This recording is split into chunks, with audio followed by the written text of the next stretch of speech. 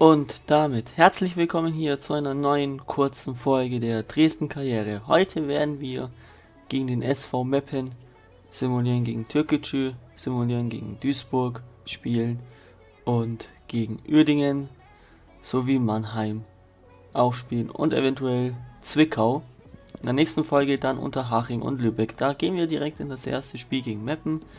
Wir werden natürlich mit dieser Mannschaft spielen. Am Ende gewinnen wir auch 2 zu 1 durch die Tore von Biki Roglu und Dafner in der Tabelle. Schaut es folgendermaßen aus. Meppen rutscht auf die 18 ab. Wir sind weiterhin auf Platz 1. Türkgücü München ist auf Platz 16. Das ist unser nächster Gegner. Und wir werden mit dieser Aufstellung in das Spiel gehen. Meier ist wieder fit.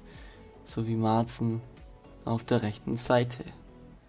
Und Ebenfalls darf wieder ein Watsuno spielen. Und am Ende werden wir auch diese Partie leider Gottes verlieren. Nachdem man das Hinspiel 6 zu 0 gewann, verliert man hier jetzt dieses Spiel. Die nächste Partie ist gegen Duisburg und Batsuno sagt letztlich werden sie sicher einen Ersatztorwart suchen, aber geben sie mir die Chance für ihn zu spielen. Das ist eine Chance.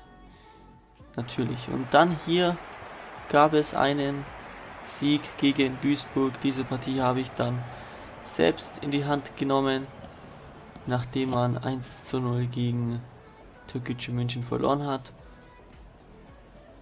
Werde ich gegen Duisburg selbst spielen. Am Ende habe ich auch gewonnen. Das werden wir auch gleich sehen. Am Ende wird es ein knapper 3 zu 2 Erfolg durch die Tore von Diabosi und Jones ganz stark natürlich die Vorstellung heute wieder von uns. 22. Minute, Duisburg ging allerdings in Führung. Schöner Schuss. Und dann ist es die Führung. Batsuno schaut da ganz schlecht aus. Aber natürlich, jeder Spieler macht mal Fehler. Das ist ganz normal. In der 22. Minute dann das 1 zu 1 durch Jones Schöner Schuss, keine Chance für den Keeper. Und dann in der 35. Minute wieder Ahmed mit einem Schuss. Der geht allerdings am Tor vorbei. Gute Möglichkeit hier für unseren Jugendspieler. In der 38. Minute dann Fehler in der Defensive der Duisburger. Wir nutzen es eiskalt aus beziehungsweise es war abseits.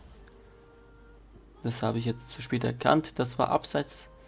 Deshalb bleibt es hier beim 1 zu 1. In der 43. Minute dann aber kommt Diabusi und natürlich vor dem leeren Tor ist es kein Problem. Er macht das 2 zu 1. Und Dresden ist wieder in Führung hier.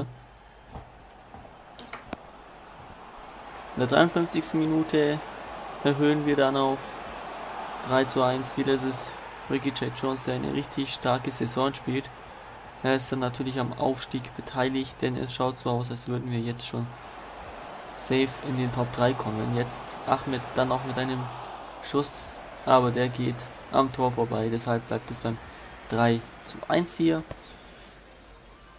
Macht nichts. In der 90.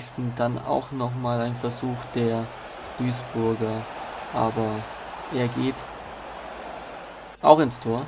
3 zu 2. Dann führen wir gegen Dresden, äh, gegen Oerdingen mit 1 zu 0 durch Biki Roglu. In der 34. Minute schoss Biki Roglu das 1 zu 0. Am Ende gewinnen wir auch gegen Oerdingen.